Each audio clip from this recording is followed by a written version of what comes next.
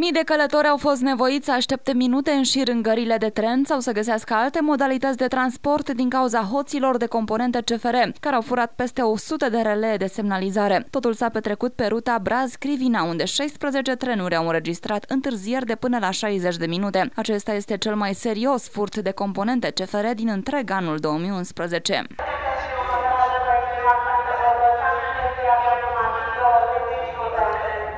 Hoții au acționat seara trecută și intenționau să facă bani frumoși din vânzarea releelor la centrele de colectare a fierului vechi. În zona stației CFR Crivina au fost sustrase un număr de 101 relee de semnalizare instalației feroviare, punând astfel în pericol siguranța circulației.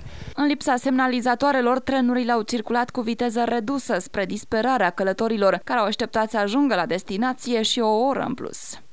Afectează, normal că afectează, pentru că circulă un alt sistem. Nu mai e ca la sistem normal pe pelea.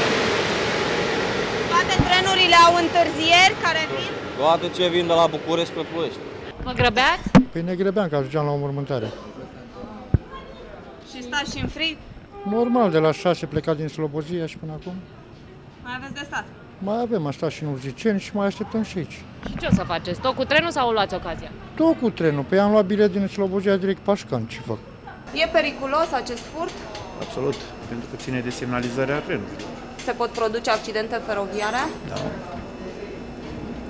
Și cam atât. Vă întreabă călătorii de ce avem Ținem la întârzieri? curent. ținem la S-au furat, s-au furat niște relee, s-au devastat niște dulapuri pe partea de instalații SCB. și, uh, lucru totuși, să fură așa? Deci lucrurile astea se întâmplă de foarte mult timp. E foarte greu de eradicat acest fenomen.